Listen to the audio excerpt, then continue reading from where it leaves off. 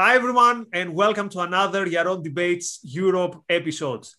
Today, we have with us an up and coming young public intellectual, a guy I know and he's very, very interesting, William Costello. So, William is a, is a postgraduate student in evolutionary psychology, but he's already contributing in the public dialogue. He's written in Areo, he's written in Quillette, and he's someone who believes that evolutionary psychology is misunderstood and that usually when we attack evolutionary psychology, we attack a, a straw man. So I'm very curious to see also where our two speakers meet on free will and whether whatever are the findings of evolutionary psychology, where they go against free will. And of course, as always, on the other side, we've got Yaron Brook. Yaron is the chairman of the board of the Ayn Rand Institute. He's the host of the Yaron Brook Show and probably most of you already know him. So, enough with the introduction. Make sure that you send your questions via super chat. Hopefully, the questions have to be somehow relevant to what the speakers say or somehow relevant to the topic. We start with William, then we're going to go to Yaron, and then we're going to have a bit of inter panel discussion, hopefully, with as little intervention by the moderator as possible.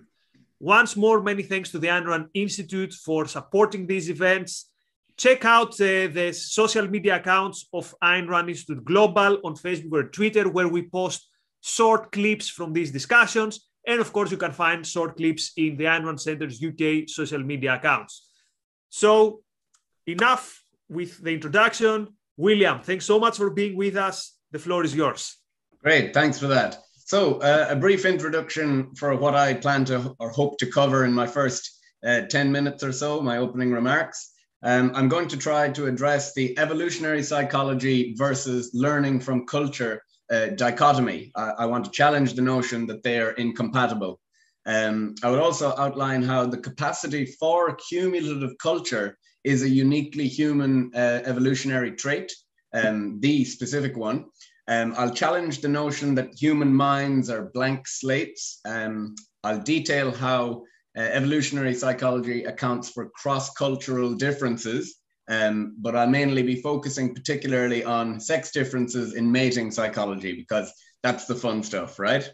Uh, so um, basically, to dismiss ev psych or evolutionary psychology as it, it's a form of um, mind body dualism that's closer to superstitious and religious spiritualism than rational reason. Um, in this sense, I can actually better understand the intellectual positions of creationists, uh, religious creationists, uh, who deny evolution entirely. At least their position is uh, consistently and coherently confused. Um, the modern version of the creationist exists more on the left wing um, who, despite their mantra of follow the science, and um, uh, they appear to think that evolutionary processes led to the development of all, all of our biology except the human brain, which doesn't really make sense to me. Um, so, to dismiss evolutionary psychology is to suggest that the brain has nothing to do with thought or your behavior, or that evolution only starts from the neck down. So, it just seems a little bit of a confused position to take from the start. So, what is evolutionary psychology and how did it come about? Well, in the final sections of Origin of Species, the great Charles Darwin predicted that one day his principles of evolution would be applied to psychology and human behavior. He said, In the distant future, I see open fields for far more important researches. Psychology will be based on a new foundation, that of the necessary acquirement of each mental power and capacity by gradation.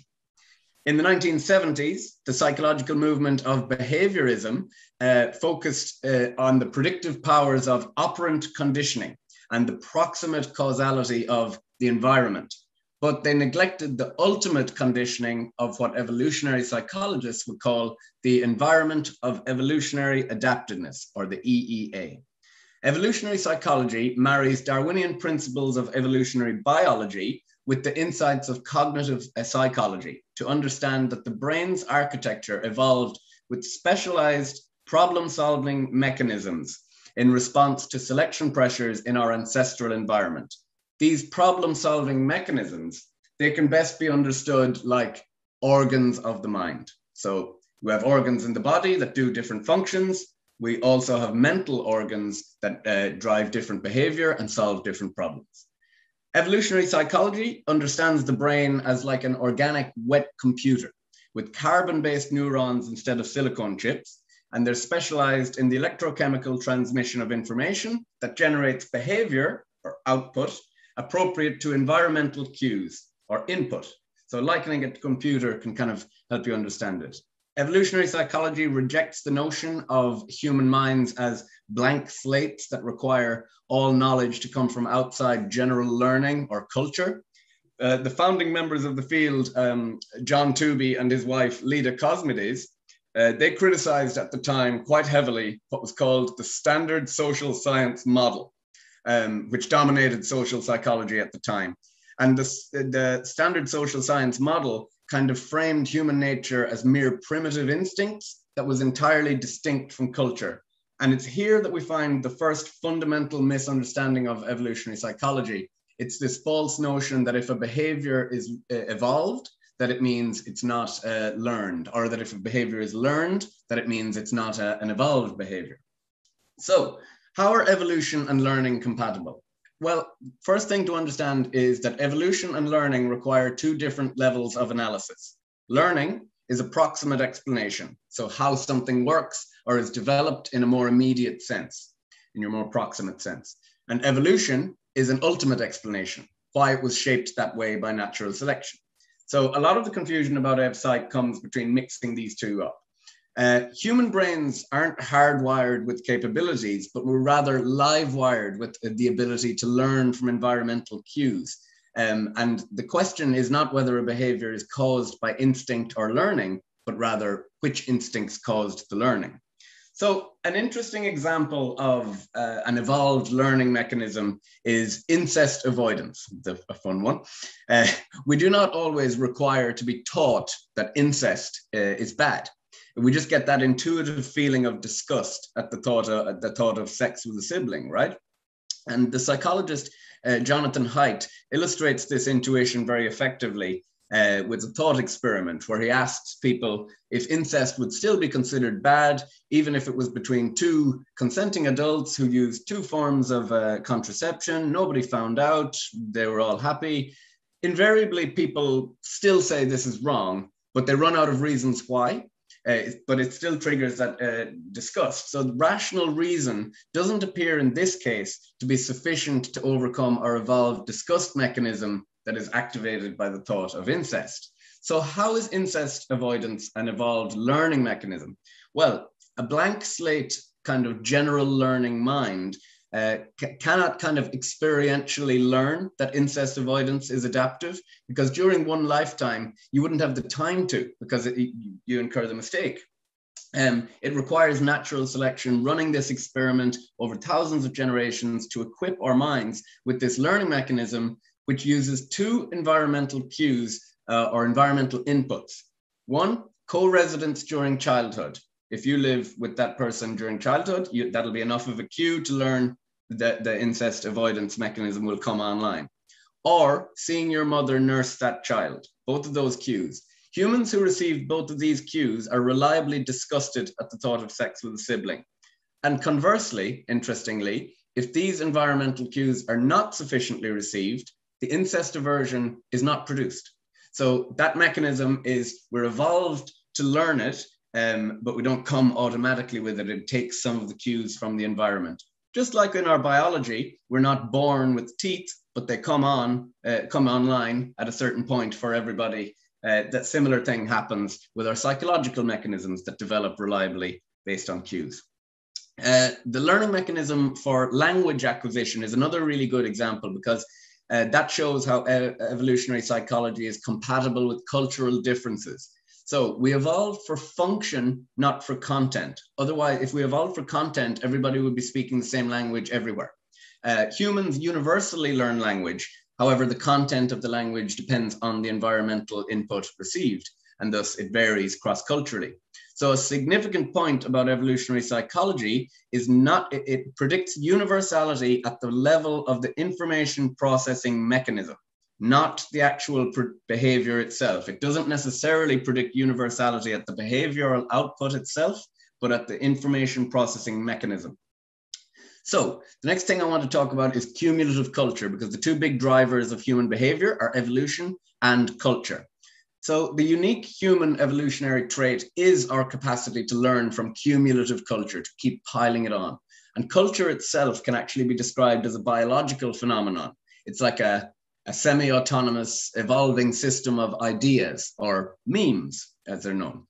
Human brains generate, circulate, and accumulate uh, culture as kind of gene meme hybrids, as Daniel Dennett uh, calls them.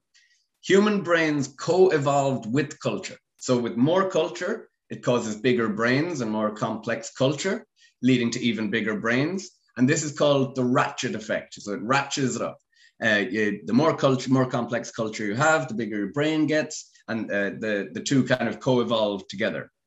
The ability to stockpile knowledge transmit and improve upon it generationally enables humans to uniquely use our cognitive niche to colonize a range of diverse environments. We're not just restricted to one environment. We can live in the desert, we can live in the snow, and that's because of our capacity to build culture cumulatively. Animals today are largely the same as animals 200 years ago in terms of their capabilities, whereas humans are unrecognizable and we're about to colonize the cosmos because of our cumulative culture. Um, we literally don't have to reinvent the wheel every time with each generation. And that's a, a massive um, advantage to us as a species.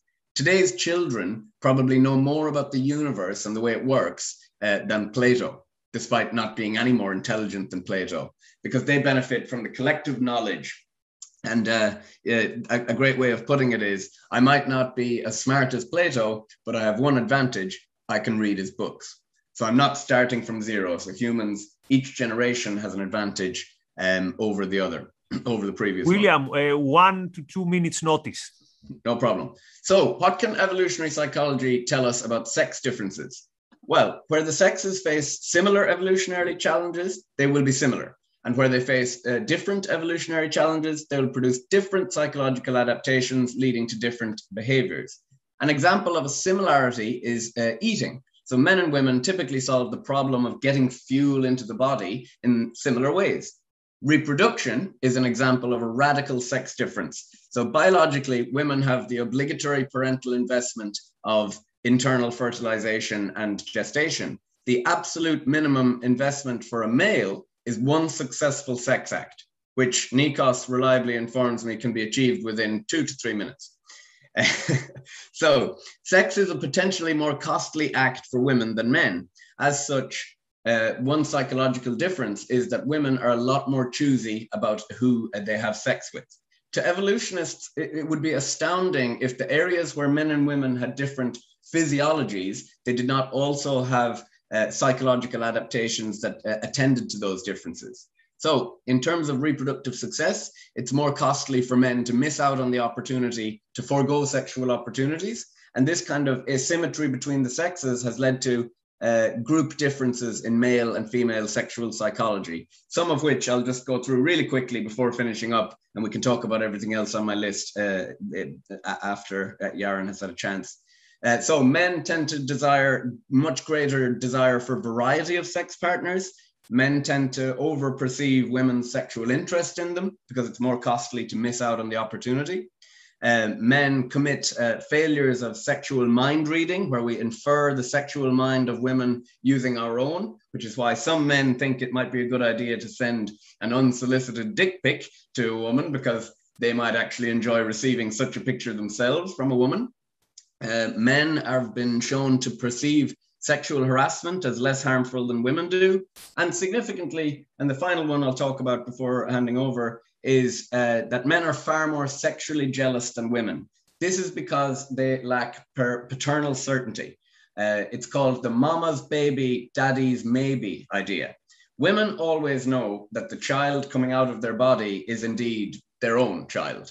Whereas men, for most of our evolutionary history, uh, could not have been sure that that was definitely theirs. This led to evolved psychological mechanisms for greater sexual jealousy, which in turn motivated increased mate guarding behaviors in men to make sure that you have that paternal certainty. So those are some interesting sex differences that come from our evolved um, psychology. Uh, later, I can maybe talk about how uh, evolutionary psychology actually predicts the cultural variation a priori before um, ahead of time. So uh, for a, a, field that gets criticized for being called just so stories, it does that a hell of a lot of time. And I can link to a really good article that collects a lot of examples of evolutionary psychology predicting their making their predictions um, like any other science. Thanks, William. So let's hear Yaron's introductory remarks, and then we're going to get back. I already have many questions, and I'm sure the audience has as well. Let's go, Yaron.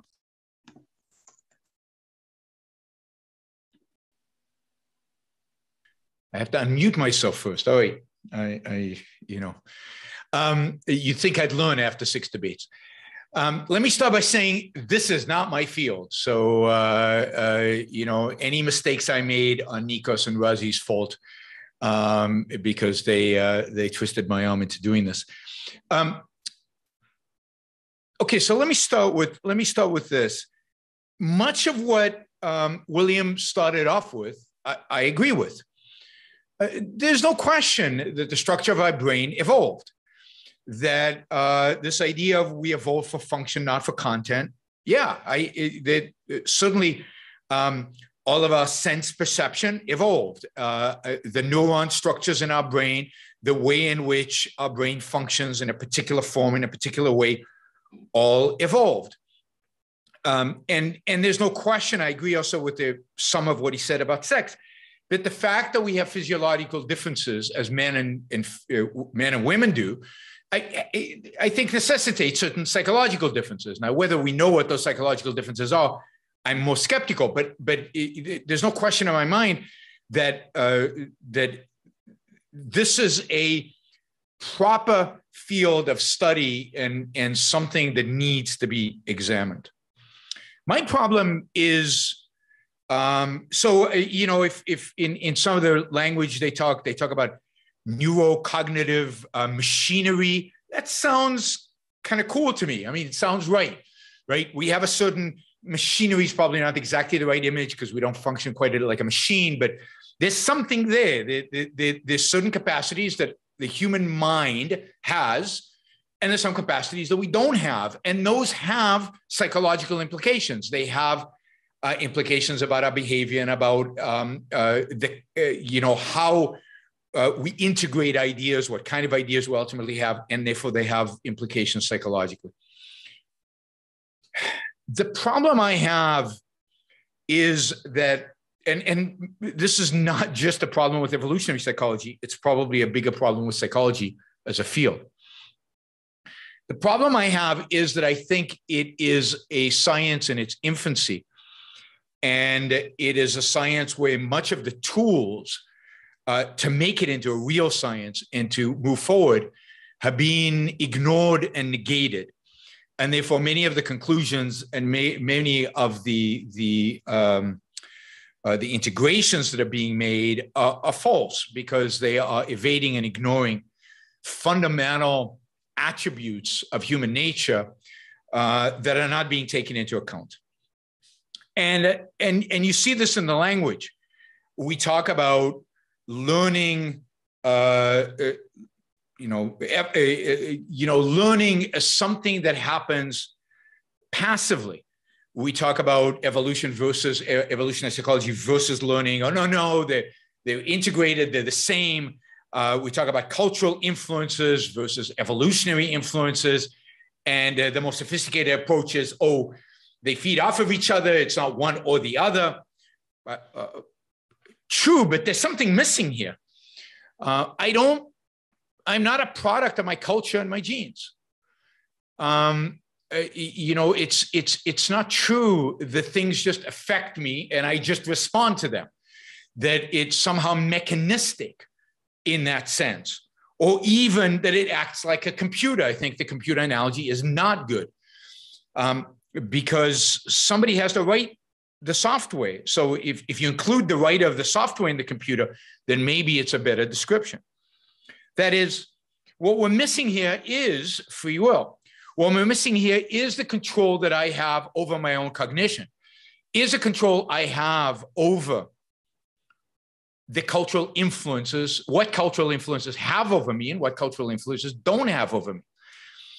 Now, what I think is happening with the empirical studies of evolutionary psychology, um, and I, I, am not an expert in these, and I, again, I'm skeptical about studies, only because uh, nothing to do with evolutionary psychology, only because when I look at academic studies and fields that I know something about, and I look at how they use statistics and how they design experiments and everything like that, I find them to be pretty weak and uh, pretty flawed and uh, do things with statistics that any statistic, any econometrics teacher would frown upon. But yet you can get away with it because journals are not very selective. Uh, and people, so I'm a little skeptical. also because of the fact that in the social sciences, replicability is a big problem, right? And and uh, so I'm generally suspicious of empirical studies in, in fields that I I know something about. Um, you know, so I, I extrapolate that to fields I don't know that much about, and I think somewhat legitimately.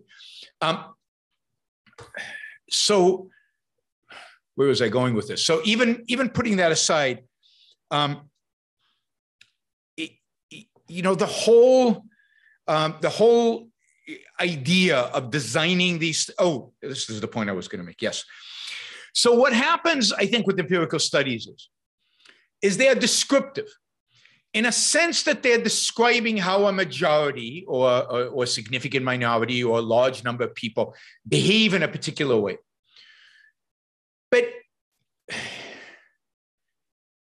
human beings, um, different human beings engage what I call the human part of them in, in uh, to different extents.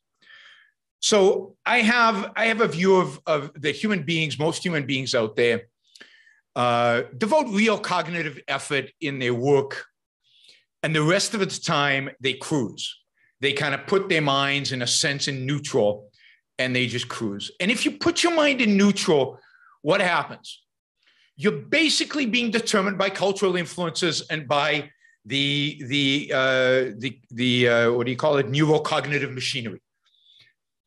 Some human beings actually engage their mind. They engage their reason. They engage their will, if you will, and they have that capacity engaged throughout their lives, and therefore they have the ability to override the machinery or to override the cultural influences.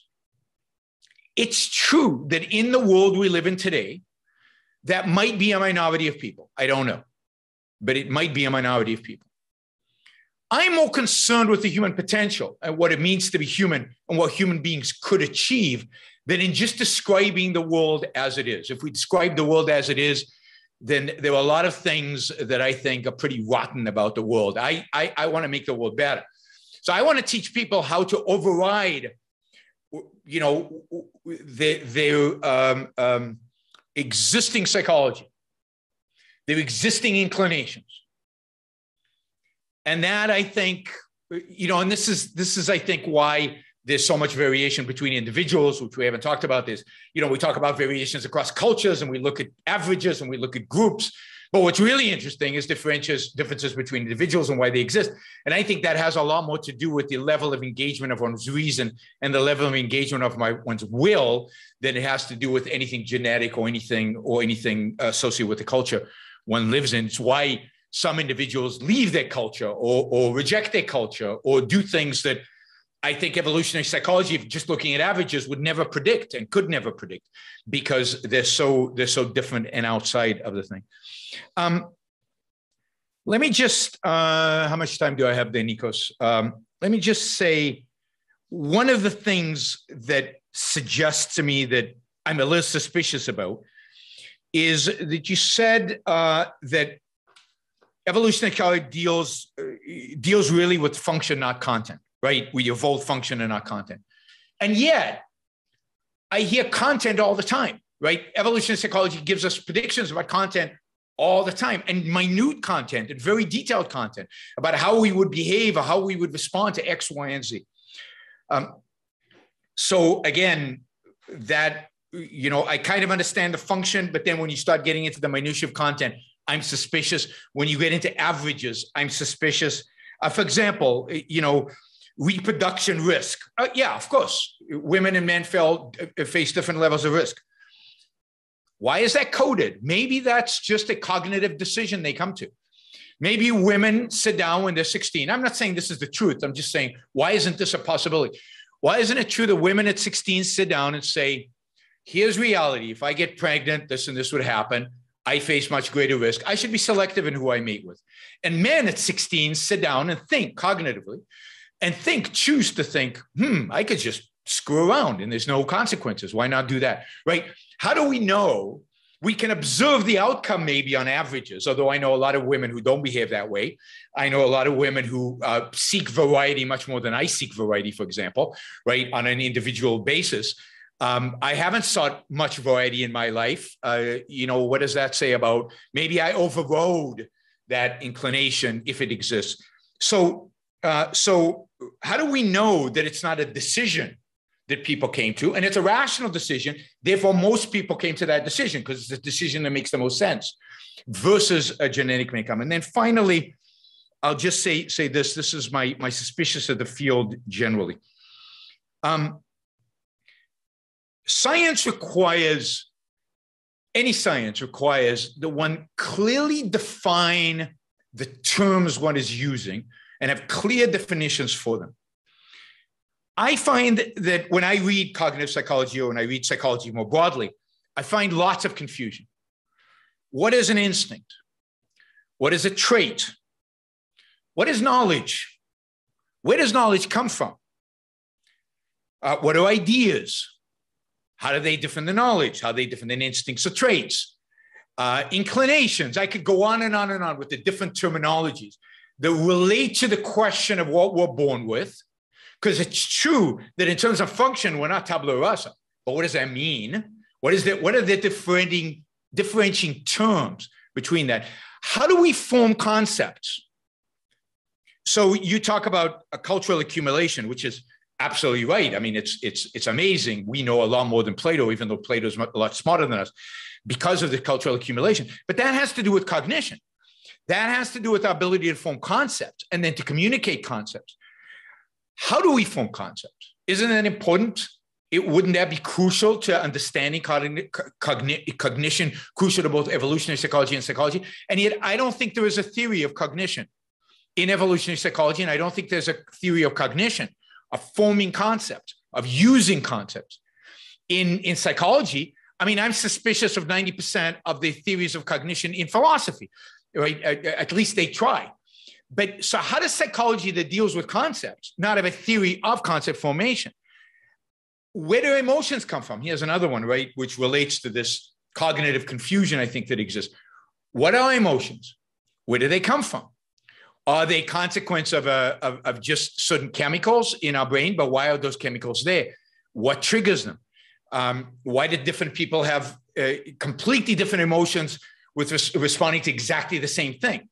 Um, so, so I think there's a lot of interesting stuff, right? So, so I'm not dismissing the field. I just think, like most fields in the humanities, it's it's a confused mess and I think that about almost every field in humanities. Not, uh, uh, but but here because it's a young field, uh, the confused mess I think is more exacerbated because I think generally human knowledge is a confused mess over the last fifty years, uh, influenced by postmodernism, uh, influenced by a lot of different uh, bad philosophies. And as a consequence, new sciences are more susceptible to the confused mess than older sciences. Okay, I think I've gone over my 10 minutes. I'll stop there.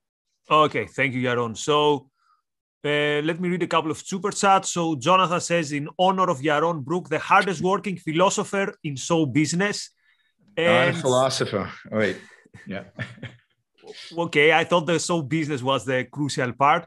Yeah. Okay, so there's there's also super chats related to what you said, both of you in your introductions.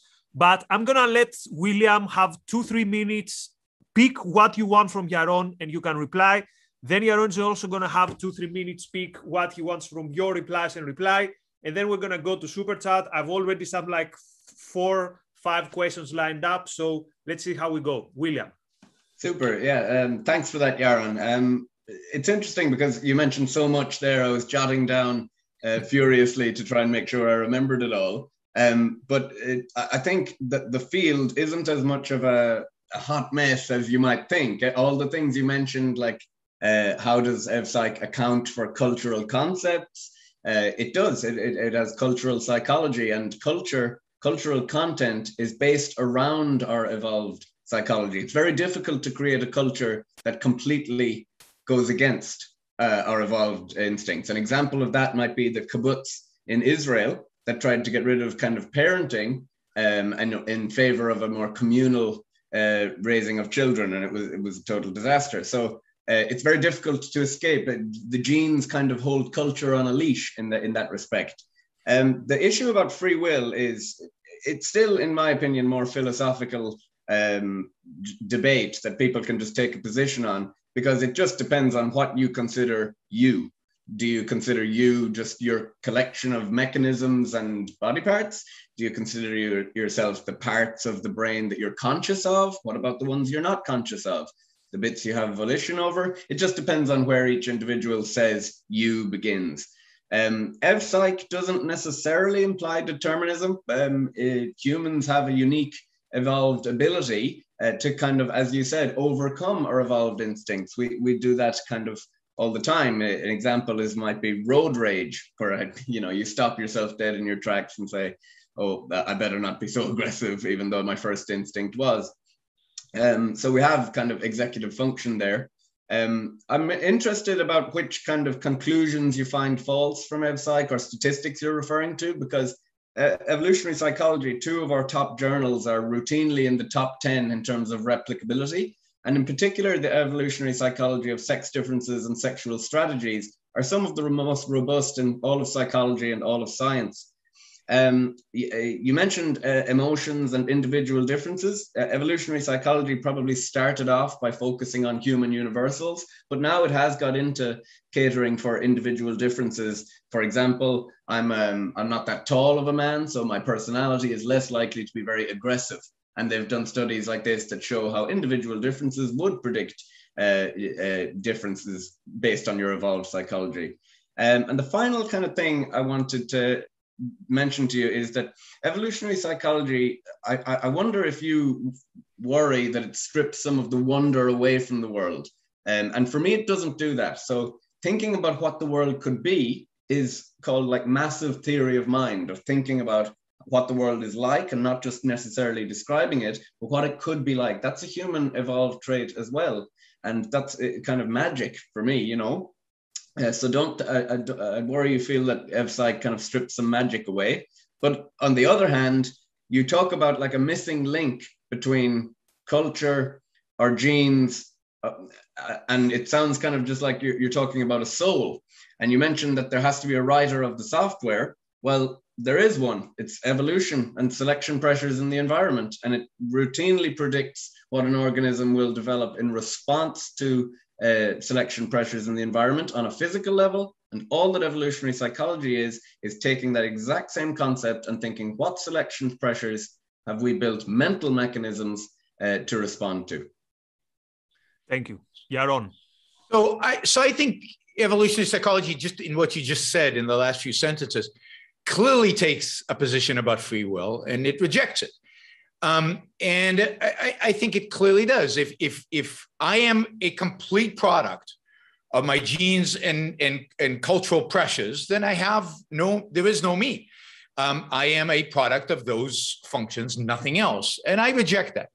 So, and I'm not religious. I'm not a mystic. Um, I reject that. I believe that I have control both on both. Now, it's true um, uh, you know, because uh, it, so I think I can control what kind of evolutionary, what kind of cultural pleasures I can acknowledge and not acknowledge, choose or not to choose, and I can and I can change. I can uh, be short and be not aggressive, and then um, I can choose to uh, learn a key, uh, you know, I don't know, Brazilian jiu-jitsu and change my level of aggression as a consequence.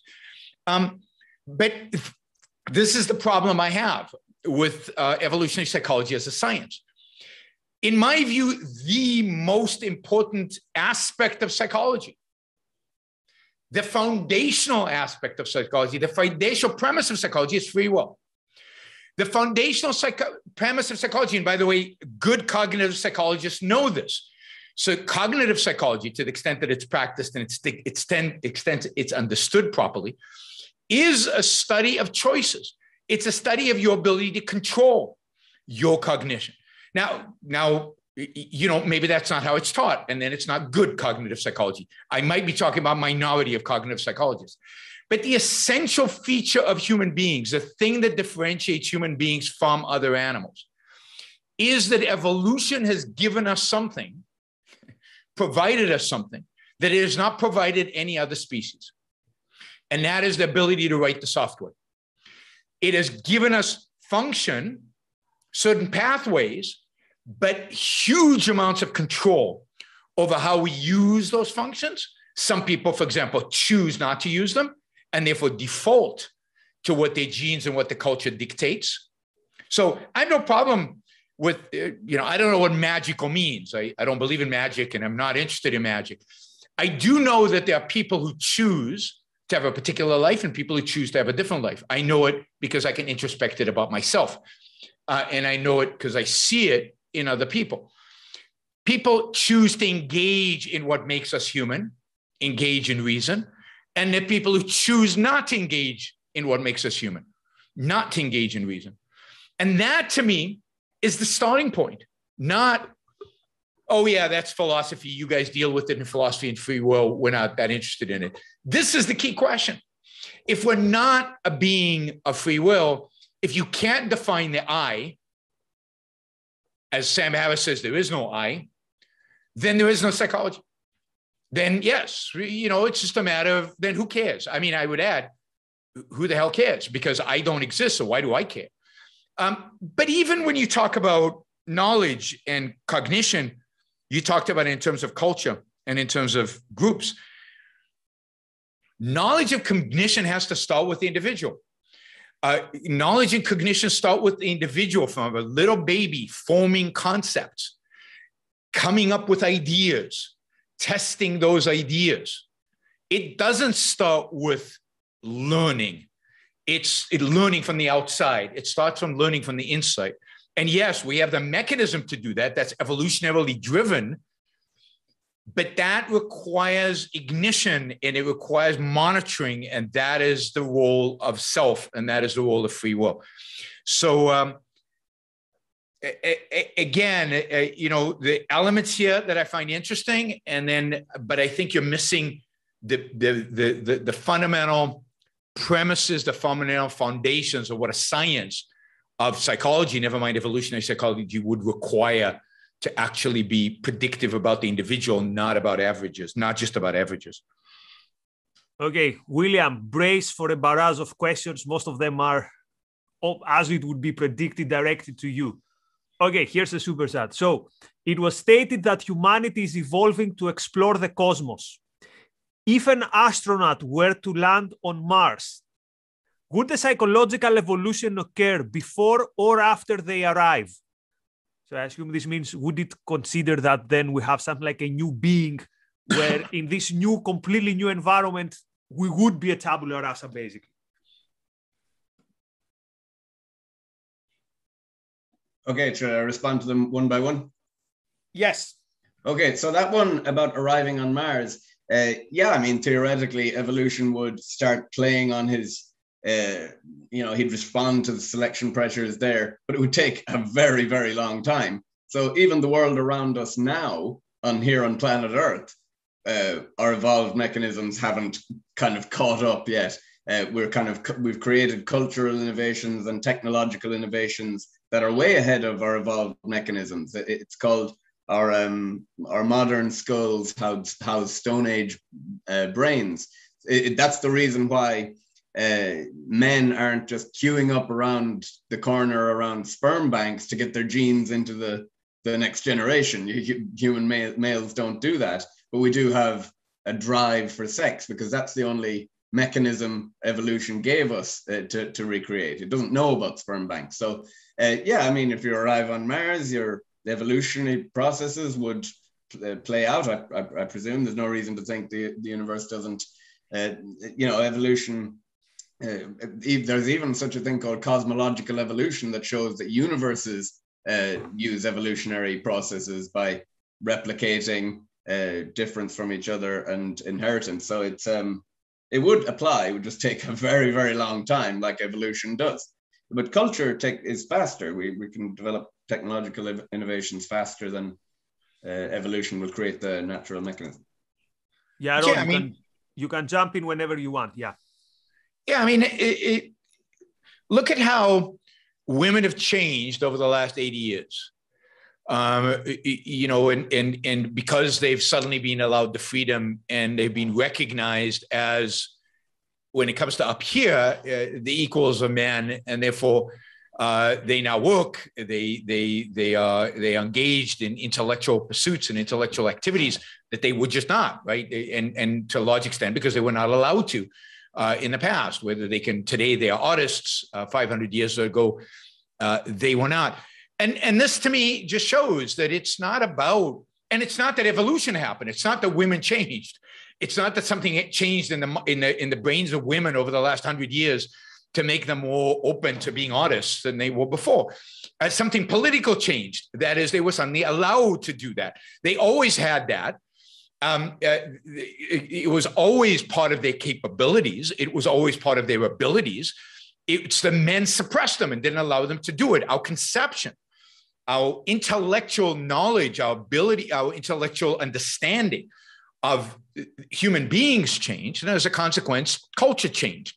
Um, but even there, culture changed because certain individuals came to a certain understanding and fought for the culture to change. This culture doesn't just change um, by itself. It changes because individuals choose to fight for particular causes and bring about those uh, uh those cultural changes, and then uh, we see people freed up as a consequence. So, um, uh, you know, so again, I think I think it's it's uh, one can't explain. I don't think what's happened over the last uh, 250 years. One can't explain capitalism or freedom or the, the Enlightenment through evolution.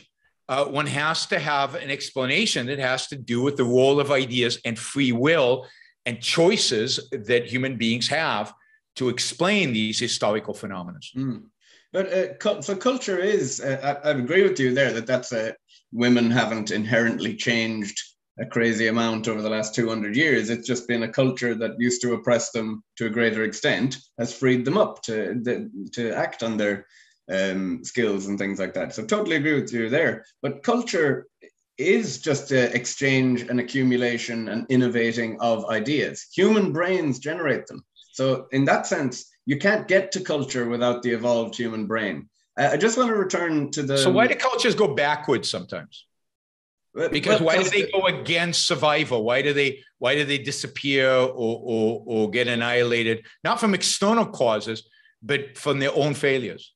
So evolution doesn't imply just like oh straight line progress trajectory it's always going to get better and better and better. It doesn't necessarily uh, imply that. Well can you give me an example of a culture that doesn't that kind of Sure, Rome. Rome adopts Christianity and and, and commits suicide. Um, uh, you know, there's plenty of culture. Venice, Venice during the Middle Ages was this thriving place, and it adopted certain forms of hierarchy mm. that basically destroyed its the freedom that made its progress possible. You see lots of I mean, America today. you know, you see lots yeah. of cultures in decline and and going away and disappearing but that would be kind of because they're competing against each other and no it has nothing to do with competition. It, it's completely internal. It's i mean human beings have the capacity to commit suicide. Human cultures have the capacity to commit suicide which is not um, intuitive let's say not not a word i usually use. Uh, it, from an evolutionary perspective it requires something that i think you know psychologists have to start taking into account which is choices. People make bad choices, not not because they're programmed to make bad choices. Because but evolution um, wouldn't uh, doesn't imply that humans only make good choices. Evolution uh, requires inheritance, variation, and uh, competition. So you know that cultures follow that same process too. Even and even ideas in capitalism follow that process too. Um, so it's not like evolution. William, can I yeah, can I ask a question here to clarify something that you said mm. also for the audience? And we already have some more super chats, and feel free people to send more. Thank you very much for your super chat. So, William, knowing you, for example, you grew mm. up in the same environment that most, basically, that all grow up. But knowing you, you're going against many of the tendencies today. So, for example, you you are someone who is proud of uh, some of your masculine traits, for example, intellectually you go against the stream. And at the same time, people who grew up in the same environment took a completely different direction. They go completely with whatever is uh, espoused from, uh, from the culture. They don't question anything. They consider that, uh, you know what I mean. Yeah. So, in the absence of free will, in the absence of individual judgment, how would you how would you explain that you went in one direction and the majority is going to another direction? Uh, so yeah that brings me back to what i wanted to actually talk pick up with yaron on on this idea of choice. Um, so what i wanted to ask was could we choose for the world to be entirely different uh, to go against our evolved instincts entirely? And I, I, don't think we could. I think that would break down if we tried, and we, have seen some examples of that uh, with things like the kibbutz and, and stuff like well, that. It wouldn't work. Yeah, but you could choose to do it. Like the kibbutz is ex- an example of what I'm suggesting, right? Where, you know, you can go against human nature. I believe mm-hmm. human beings have a nature. I'm, I'm, I'm yeah. not rejecting the idea of nature. You see, human beings are the only species that exist. So who can choose opinion? to go against its nature. Is it your opinion that evolution has led us up to a certain point and now we're we're off the leash? And in in, in, a sense, yes. I, I believe that evolution has created something. I mean, and I don't understand how it did it. I, I don't pretend to know the science. Nobody does, right? But something has been created in human beings that separate us from the rest of the animals. That that uh, separates us from evolutionary pressures, at least to the extent that we use the thing that evolution gave us, which is the ability to write the software. To the mm-hmm. extent that we take the reins, right, that we take control of our lives, we free ourselves from evolutionary pressures. To the extent that we don't, and unfortunately, I think a lot of people don't, we are still um, constrained by those those mm. evolutionary pressures. That's interesting because that means then it's probably just the degree to which where we land on that line that me and you might disagree um, you know, uh, I might think we're still more subject to evolutionary mm-hmm. wiring or nature uh, than you might. Of, of course, we, we have, you know, the ability to, we're the only ones to understand that evolution happened and that we're subject to its nature and understand why we behave the way we do, which is a, a, a and that's what I mean. It's such a unique uh, time in human development. Um, just a final few things I want to pick up on you, what you said about cognitive psychology, that do, if it doesn't deal with choice, it's not psychology. I mean, I disagree with that because psychology, you still have thought and consciousness and behavior. And most of what the brain does is regulate your body's temperature. So, you know, most of what your brain does, uh, we describe it in psychology of who's in charge, you or your brain. You know, so this is where I go back to it again. It's just the, the kind of the philosophical debate about it is to what extent are you just what you feel to be you inside, that all your mechanisms uh, is it you and your mechanisms or is it just your mechanisms as a collection? Um yeah yeah that's interesting that we just might it just might be where we fall on that kind of spectrum so, of uh, yeah. Yeah so take that last point you made. Uh, so yes big chunks of our brain do things that are not psychological that mm-hmm. psychology doesn't study, like regulating temperature, like like regulating nervous. I don't think that's what psychology studies. That my neuroscience might study that, but not psychology. I think psychology studies our behavior, our emotion, our cognition, our, all of those, in my view, are primarily regulated by our will. So mm. if you take out the primary regulatory agency, right, that that so I, I think, uh, for example, our emotions are consequences of conclusions we came to, conclusions that we even came through consciously or unconsciously. right? Mm-hmm. But there's a difference. Well, what does conscious means? Conscious means in my control. Unconscious, I'm out of control. And then there's a whole question of how does my conscious mind and my unconscious uh, communicate, relate to one another?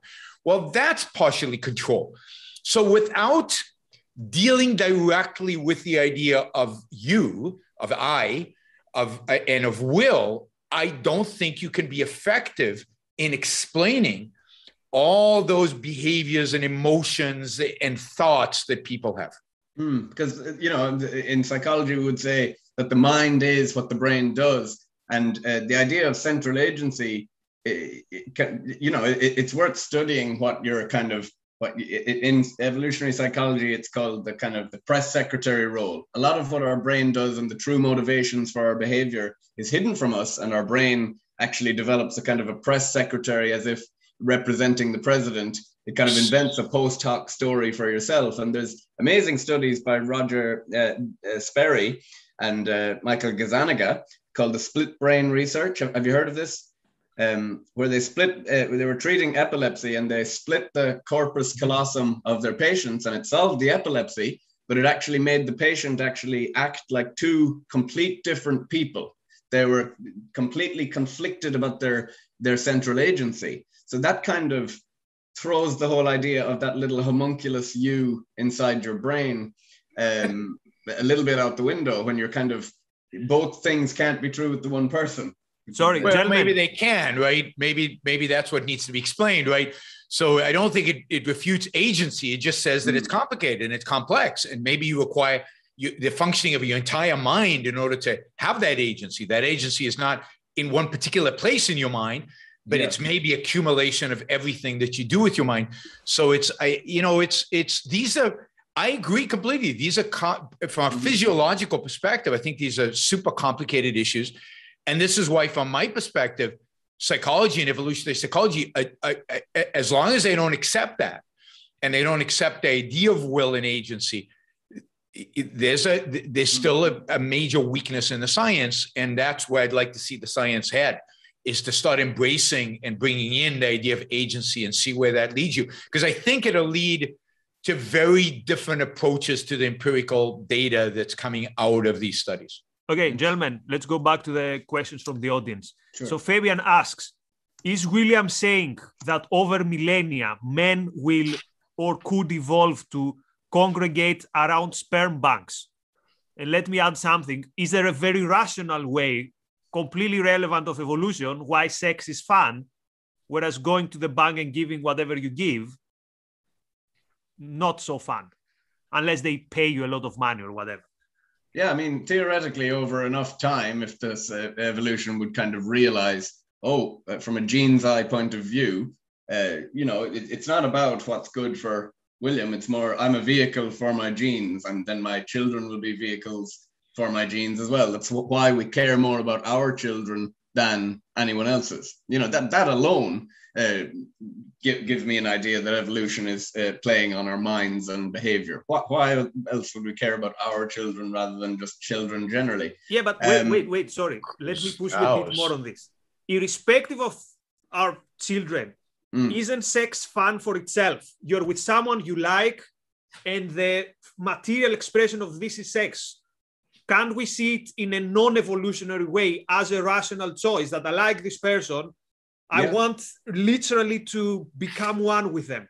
Yeah, so humans use sex more pro-socially uh, than other animals, mainly because of concealed ovulation over evolutionary time. We didn't know when. Uh, other animals don't necessarily have sex for fun. We do. And the idea behind that is that we didn't know when uh, women are, are, fertile for sure. So it just gives you this mechanism. And you can also use sex to, to kind of, you know, it feels great. So you can attract a partner who's going to stay with you and be pair bonded with you. So that's useful for humans as well. So, you know, if anything uh, feels good, you can, you can think that uh, it's kind of like meant to drive you towards that behavior. Um, I presume sex feels great for animals too when they do it, but they don't do it. Uh, they're different from us. They don't use it in such a pro-social way. Uh, it's more. I'm not sure they do feel good when animals have sex. I don't know what the evidence is, and particularly, particularly the lower the lower you go. I, I, I think I think this is this is a sense in which I view you know, evolution. Evolution, I think, made sex uh, uh, uh, pleasurable, right? Yeah. Uh, it, it created the, the the mechanism by which sex is pleasurable, Mhm. Uh, and then it leaves us alone to make choices about who we have sex with, when we have sex. I mean, we're not. I I, I don't care about my children because completely in the dark about why we make those choices. You know, me- no, we're not completely in the dark. I mean, I I know why I have sex with who I have. I've I've it's a it's a rational choices I make. I But mean, I, is there are lots of temptations. Evolutionary theory drives those choices. What's that? Gentlemen, pre- you if can you talk predict those together, choices. people cannot hear you. So Sorry. one at a Yeah. time, please. I Just, can just really quick point. Uh, so evolutionary theory predicts sexual strategies and sexual choices ahead of time. So, But it doesn't. It predicts it on aggregate, on an averages, but it doesn't pick. It doesn't predict my sexual choices. of course, okay. So, but it predicts. So you can, so you can, you can aggregate stuff and come up with averages. But what do they mean? I mean, that's typical of a, a human male. It, But there it is doesn't mean that every human male does the same thing. Steve Pinker, one of the best evolutionary psychologists of all Yes. time, he, he doesn't want to have kids. Like so, um, Yeah. I know. it doesn't. it's a bit of a problem. We're not tramlined uh, to just kind of completely obey our evolutionary nature, but he would absolutely say that a lot of sexual strategies that are in most men, are generally typical for men, are the product of evolution. I think what's interesting is the more men engage uh, their uh, their reason and their free will, and I and I, my guess is this could be empirically tested. Uh, the less they engage with what are called evolutionary strategies, and the more they they make independent choices about the kind of sexual strategies they engage in. That would be interesting. Okay, a follow up on this one. First of all, uh, super chat from Christopher. There's a couple of cool things you can learn from evolutionary psychology. So, William looks like at least someone from the audience is uh, found the value of this. But let me ask you a follow up question on the gender roles. Mm. So, one of the most convincing examples of evolutionary psychology is the appeal to women of the bad boy, or if you take it more historically, let's say the warrior. Mm. But again, imagine that there is no science of evolutionary psychology. Couldn't you envision a rational way, a non evolutionary way, why you'd prefer the warrior? The warrior displays excellence, displays courage, displays ability, displays leadership. So, what's not to like? Why do we need the evolutionary pressure to like the bad boy or the warrior rather than say, look, this archetype, there's virtue in this archetype? There is something to, to admire. There's heroism in this up, up archetype. Therefore, I'm attracted to it. So, what's wrong with that? Uh, there's, there's nothing wrong with it. And I mean, those archetypes probably are scaffolded and built upon uh, the evolutionary history because those stories kept re- repeating and repeating and repeating. The most successful man is the one who's brave and you know aggressive and he has prestige in his community and he overcomes the challenges he saves the girl from uh, from evil so you know it, it would make total sense that the best stories would actually play on our evolutionary instincts and nature. Uh, so, for example, we have cultural content biases. Uh, something like 92% of the most the Billboard Top 100 songs have reproductive messaging. So they're about sex or uh, love or romance. So you know we constantly come back to content that plays on our evolved instincts that uh, appeal to us for that very reason. Uh, certain people have prestige, and we copy them even in areas that aren't even their expertise. Because over evolutionary time, it was probably better to copy the high prestige person. All of that is culturally, cultural psychology is built on our evolved uh, psychological instincts. Okay, Yaron, what will probably be parting words? Um, my parting words are going to be to take um, to take individual cognition, free will, and reason seriously. Um, and uh, I, I, really think this is what is missing from many fields in the world today, but but certainly from the field of, of psychology broadly and evolutionary psychology um, most uh, most specifically. If I think about, you know, maybe maybe this is um, my failure in life is that I don't copy people, and I you know I I, I seem to do things that are completely um, uh, different and um, and and uh, and unique. Um, so it's it's it's it's human choice is at the at the center of uh, of all of this and and understanding cognition. And I I really don't think without an understanding and I think here is where Ayn Rand really shines and really um, presents us with new philosophical content. And I think philosophy is is a foundation for all science. So I think it's important new philosophical content to to understand things psychology and and other fields uh, uh, who work in epistemology who work on cognition who work on concept formation on what is knowledge and where knowledge comes from i think is essential for for us if we're going to understand um, human psychology better. So there's a there's a pitch to go read um, introduction to objectivist epistemology which is not an easy book to read but worthwhile well, William has expressed uh, some sympathy for Ayn Rand on Twitter. But anyway, William, tell us a bit uh, where people can find more of your work and what would be, let's say, your half a minute things that you, you want the audience to remember. Well, firstly, I would say, Nikos, uh, I think the attraction to Ayn Rand is more my admiration for your good self. Uh, everyone else I know criticizes Ayn Rand and I, I think to myself, how can someone I admire so much like Nikos? There must be something here. So what I would make a trade, a deal with uh, yourself and Yaron that I, will read some Ayn Rand stuff that you send me, and uh, if you read some of the uh, psych stuff that I that I send you, I, I, know you do. You always ask for it, Nikos, anyway.